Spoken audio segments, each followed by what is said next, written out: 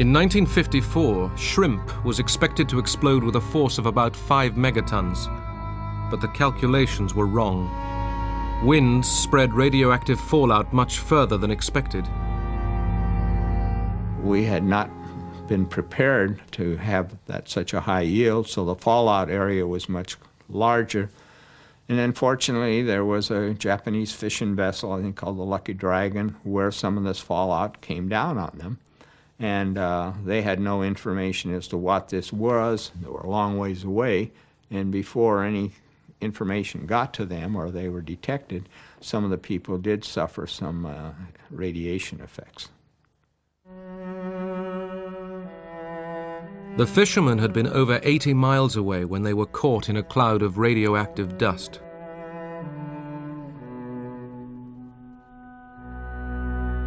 Once again, the Japanese have been poisoned by ashes of death, reported one Tokyo newspaper. All 23 crewmen fell ill. One died. I thought it was unfortunate that human beings had been affected, but uh, people get hurt in all sorts of things all the time. Uh, I don't see why the public reaction was quite so strong, although the media has a tremendous effect on the public reaction. But it wasn't just the media a former Los Alamos scientist was worried too. I came to the conclusion that the bomb was a very dirty bomb. And then came a statement from the uh, Atomic Energy Commission in the United States to say, don't worry about this, this fallout. It's no more than you get from a, from a chest x-ray. Now, I happen to know how much you get from a chest x-ray, and I became very much alarmed. Several of the world's leading scientists shared this concern. With British philosopher Bertrand Russell, they put their names to a manifesto. There lies before us, if we choose, continual progress in happiness, knowledge, and wisdom.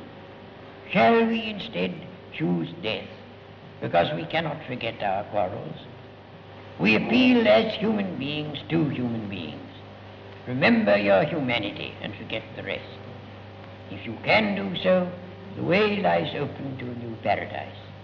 If you cannot, there lies before you the risk of universal death.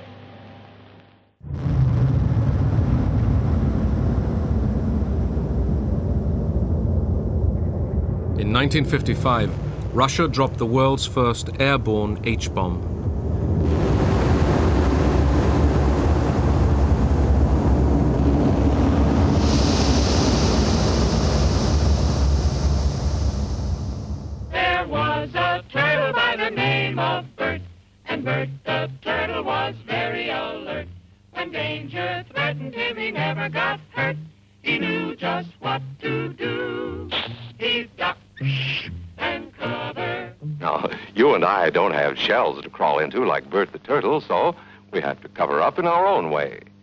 First, you duck, and then you cover. And very tightly, you cover the back of your neck. We would get under our desks and stay there until we were told to come out. Or, in some cases, in some of the classrooms, we had coat rooms off to the side of each classroom, and we'd walk through and we'd get our coat and we'd go out into the hallways and we would literally duck down facing against the wall. Remember what to do, friends. Now tell me right out loud. What are you supposed to do when you see the flash? In that way, we thought we were protecting ourselves from the bombs and from any damage that would be, would be done to us. We felt totally secure and protected. Bomb shelters, you know, building bomb shelters in the backyard it was certainly something you saw a lot in magazines and, and this connotation that this was happening somewhere in suburbia USA. I do remember thinking of places in our homes where these enemy people, these Russians, would never ever find us, and we would again be, of course, very safe forever. Ну, в 50-е годы, конечно, у нас... In the 1950s, it didn't even cross our minds that the Americans were frightened of a Soviet invasion. We thought they knew we only had peaceful aims, that all we wanted was to live in peace. We wanted to rebuild our country. We had our five year plan. Nowhere was it written that we wanted to invade anybody. We thought that we had something to be frightened of because they were capitalists, and that was something terrible for us. Это не так. А тогда, ну, капиталисты, которые... We believed that they не sucked the против blood of the рабочего workers. класса, Вот это было, было так. Но так, чтобы... It didn't even cross our minds that the Americans were scared of us. Это бы никому никогда в голову не пришло. In the summer of 1955, the major powers convened in Geneva. The Russian delegation was led by Marshal Bulganin and Nikita Khrushchev.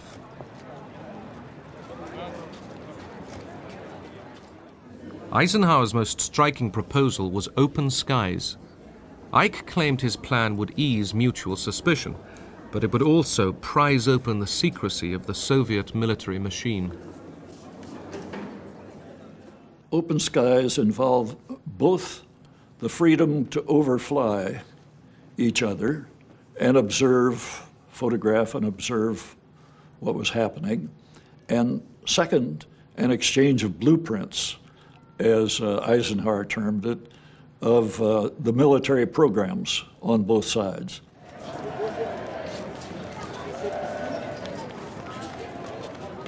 We broke up for tea shortly after that, and as we were standing there, Khrushchev uh, came walking up to Eisenhower, sidling up uh, in his way of walking, and said, Niet, niet, niet, you're simply trying to look into our bedrooms. And as we were riding back, Eisenhower said, Now we know who's in charge of the Soviet delegation. Later that year at the Moscow Air Show, the Soviets allowed the West to see their new jet bombers, codenamed Bison.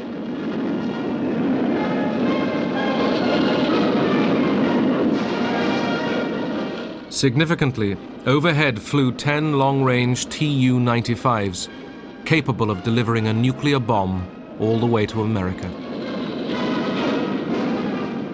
Для американцев появление до десятка For the Americans, seeing 10 planes capable of reaching the United States was a shock. на территории Соединенных Штатов Америки, естественно, было шоком.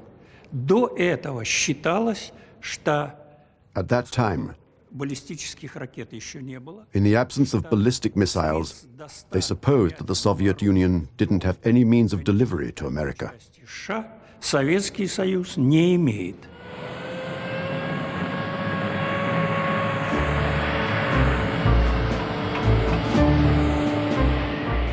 In response to fears of a bomber gap, Ike doubled the rate of B 52 bomber production. America needed to find out how much of a gap there really was.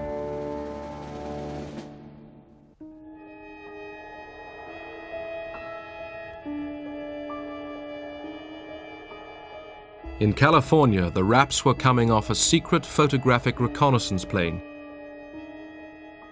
It was designed to fly at 70,000 feet, out of range of fighter planes and anti aircraft missiles. The U 2. Controlled by the CIA, these long flights across Soviet territory posed obvious risks. But the information they might bring would be vital. Ike took the gamble. One of the flights I was on, uh, I came across the Engels, Saratov Engels airfield, and much to my surprise and joy, it was loaded with Bison bombers. I knew right then that I had found that there was a bomber gap that that I, this had to be the most important picture ever taken by a reconnaissance pilot. I just, you know, I kind of expected uh, congressional medals of honors when I landed. Uh, however, it turned out that what I'd taken a picture of was not just a portion of the entire Russian Air Force bomber fleet. Uh, but in fact, I'd taken a picture of the entire Russian bomber fleet, and there really was no bomber gap. They were all on that airfield at the same time. Khrushchev, uh, around that period, uh, came to the conclusion that missiles uh, were the weapons of the future and that uh, warships were getting obsolete, bombers were getting obsolete, that we should concentrate everything on, uh, um, uh, on missiles, and as he said somewhere, that we are on the point of producing missiles like sausages. Engineers from all over the Soviet Union had been arriving in the harsh Kazakhstan desert to build the top secret rocket base of Baikonur.